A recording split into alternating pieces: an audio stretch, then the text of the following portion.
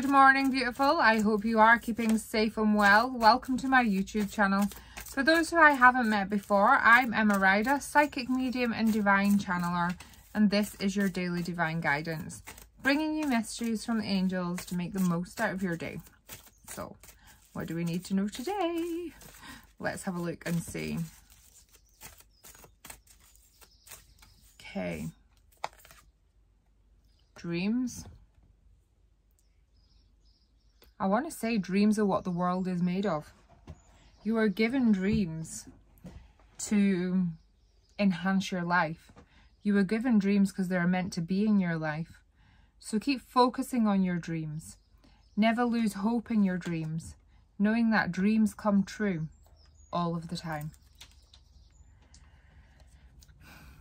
It's about balancing the now and where you're wanting to be in your dreams.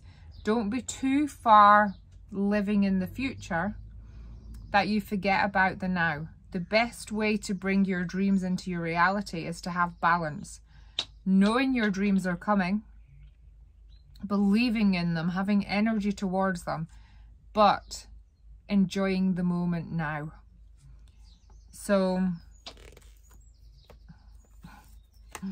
an answered prayer. The angels are paying attention to your dreams. They're listening. They're going to start bringing in more and more what you're dreaming of. So I want to say make your dreams count. Make sure you are giving your dreams enough energy, intention, focus, belief. And once you've done some dreaming, Dream some more. Dream big. Your dreams are meant to come true. And your universe card for today is